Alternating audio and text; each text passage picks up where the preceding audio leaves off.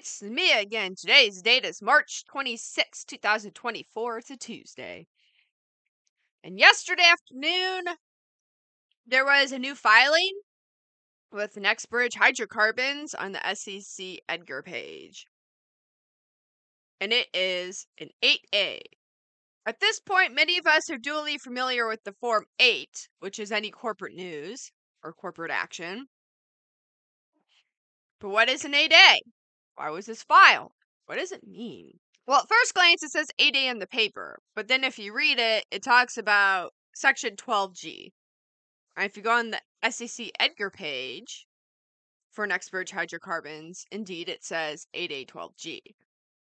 So, what is an 8A and what is an 8A 12G? Form 8A is when you file when you want to register your shares with the SEC.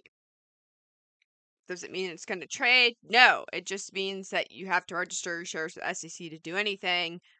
Your securities. As we know, NextBridge is a privately held company, but it still has to be public reporting due to the amount of shareholders it has. The shares are not DTCC eligible, and thus they can't be on any exchange or market. A lot of people at this point will say, well, MMTLP wasn't supposed to trade, it started trading. That's the case, but MMTLP had a CUSIP number and it was DTCC eligible. NextBridge doesn't have an official registered CUSIP number. What you see in your brokers is the contra CUSIP. And it's not DTCC eligible, as once again stated here on Form 8A that was just filed. Thus, NextBridge Hydrocarbons will remain a private company. So why did they file it? Why did they file this 8A if they're going to remain private? Well, they're still public reporting. And we are due for some financials here in the next week. Hey, it's me, an editing bird lady. Because NextBridge is still a public reporting company, a 12G needs to be filed. This is why we have 8A, 12G in specific, and this is what they were referring to when they cite the 12G subset in this document.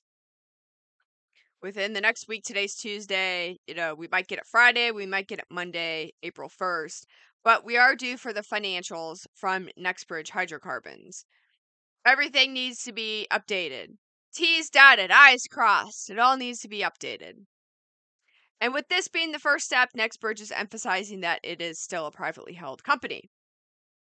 And if shares are to be traded on an exchange, they need to be reclassified. What are the next steps then? So, again, this was filed because NextBridge needs to file their reporting statements. As such, this was step one. Next, about a week, hopefully, we will get an updated financial report from NextBridge Hydrocarbons.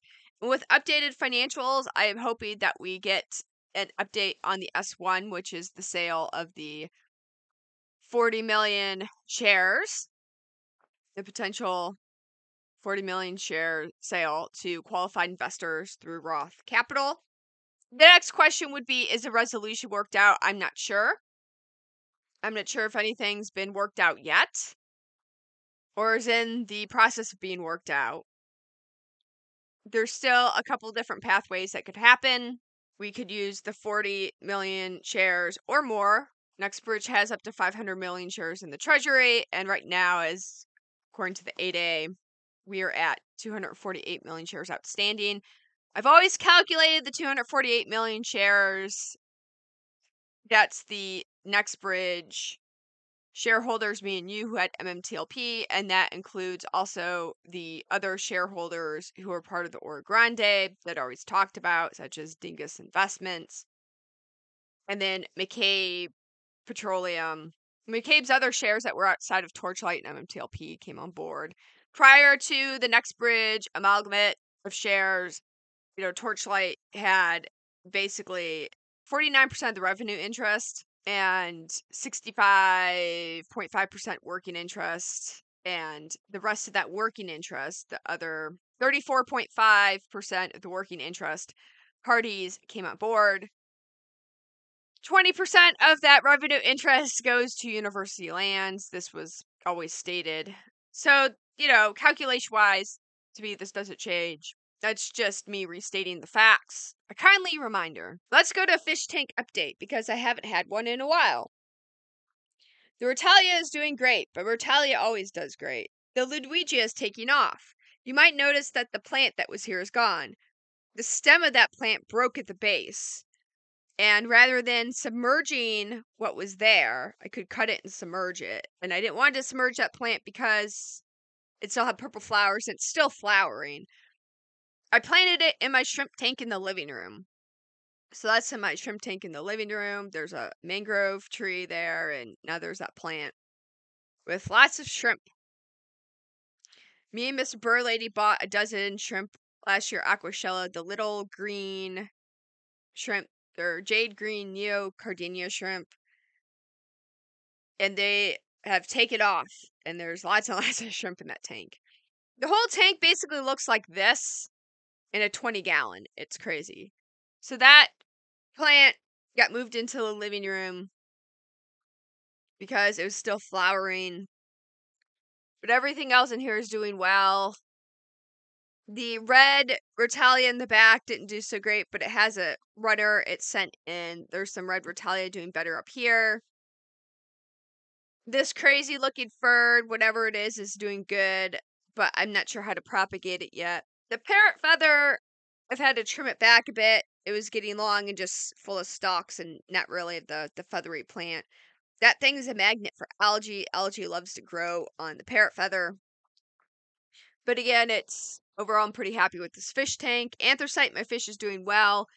This is my second take of this video. The first take, I did it all without the microphone on. It was on mute. Yeah, it was annoying, so I had to reshoot it. And Anthracite was all over the place. And I don't know where he is now, but over there's a little Corydoras.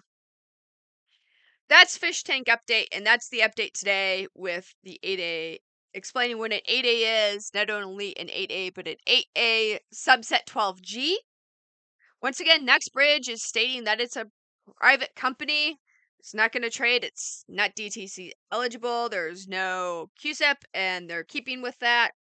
If NextBridge were to trade, they would have to reclassify all the shares as stated in this form. Next step, hopefully we'll see financials next week. Maybe Friday this week, I'm not sure. Surely by next week. After that, we might see an update on the S1.